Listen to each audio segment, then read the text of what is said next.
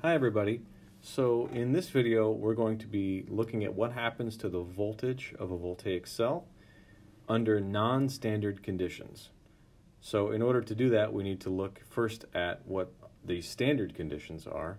So standard conditions for any voltaic cell are of course when all of the concentrations of all the solutions are 1 molar.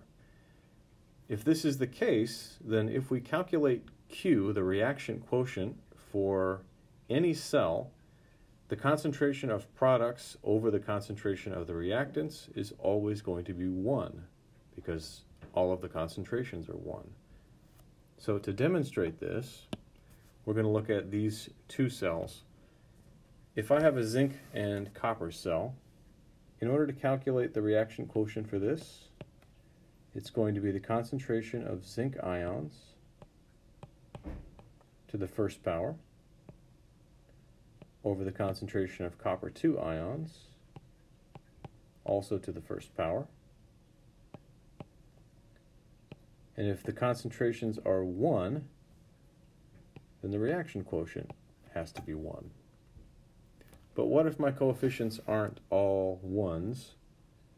So if we're going to look at this zinc aluminum cell, Q over here is going to be the concentration of zinc ions raised to the third power, because our coefficient is 3, over the concentration of aluminum ions raised to the second power, because our coefficient in front of aluminum is 2. But if everything, again, has a concentration of 1 molar, then this is just going to be 1 cubed over 1 squared, which is still 1. So again, under standard conditions where all the molarities are 1, Q is always going to be 1. But what if we're under non-standard conditions where the molarities are greater than or less than 1? Well, in order to determine what effect that's going to have on the voltage of the cell, we have to know a couple things first. First of all, K for voltaic cells is always much, much bigger than 1, as you've seen because you've calculated this before. Um, it can be as high as 10 to the 20 something power all the way up to 10 to the 60 something power. They're very, very large numbers because these are, by definition, spontaneous reactions. Um, and so, under standard conditions, we have a Q equal to 1 and under equilibrium conditions, we have Q equal to K. And at equilibrium, the cell voltage is zero. So what does this mean? Well, if we calculate Q and it's greater than 1, so let's say it ends up being 10 to the 12th, right here, then that means we're somewhere in between standard conditions and equilibrium where the cell voltage is zero. So what that means is that we are moving towards equilibrium. We're going from a standard voltage of 1.1 in this case to a voltage of zero, which means that our voltage must be decreasing.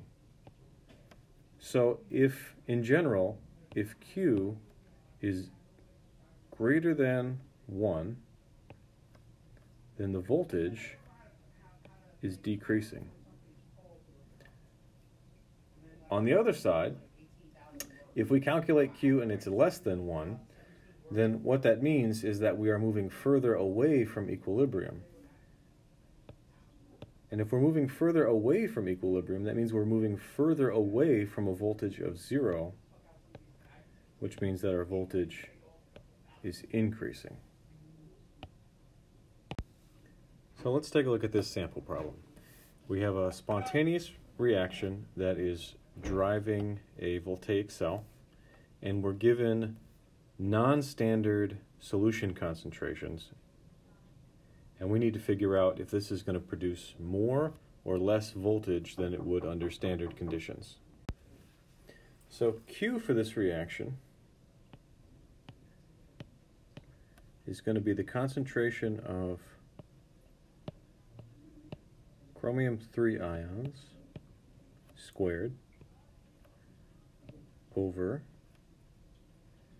the concentration of dichromate ions.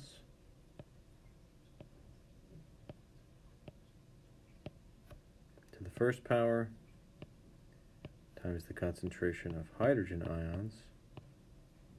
To the 14th power times the concentration of iodide ions to the sixth power. And if we plug in all of those values, chromium is 1 times 10 to the minus fifth molarity. Dichromate is 2 molar. Oops, I forgot to square that. Hydrogen is 1 molar to the 14th power. And iodine is also 1 molar to the 6th power. And if you calculate all of that out, you get 5 times 10 to the minus 11th.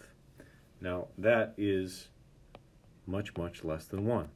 And if Q is less than 1, then what that means is that our voltage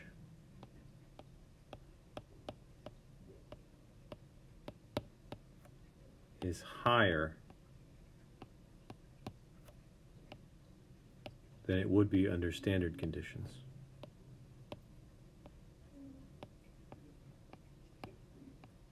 because again, we're further away from equilibrium. At equilibrium, the voltage is zero. So the further you get away from equilibrium, the higher the voltage is going to be. Okay, so now we're given a different voltaic cell, uh, which is standard. It has one molar solutions of chromium and lead. And we are asked what would happen if we increase the concentration of chromium. So if we're going to do this, first we have to have a balanced equation to see what's actually happening in the cell. Because the uh, reduction potential for lead is bigger than the reduction potential for chromium, we know that the lead is going to be reduced, which means that the overall reaction here is going to be 2 chromium plus 3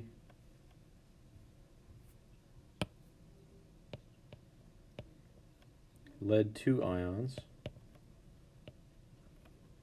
yields 2 chromium 3 ions and solid lead. So if that's our overall reaction, then Q is going to be the concentration of chromium in the numerator squared over the concentration of lead 2 ions cubed. And under standard conditions, we'll call it Q standard, this would be 1 because the chromium ion concentration and the lead ion concentration are both 1. But if the numerator increases, if we're increasing the concentration of chromium, then Q is going to be greater than 1. And if Q is greater than 1, then that means we are getting closer to equilibrium. We're getting closer to a voltage of 0, which means that our cell voltage, E cell,